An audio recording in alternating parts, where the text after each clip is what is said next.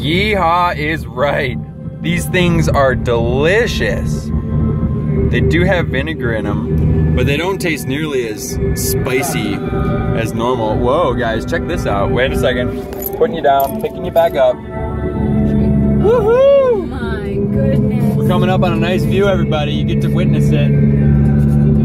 Except your mouth doesn't taste like pickles like ours does. Woohoo! Well, we gotta take pictures. Hey, this is uh Take pictures. This is um this is Grand Teton Lake, I think. Slow down, babe. You have a brake pedal.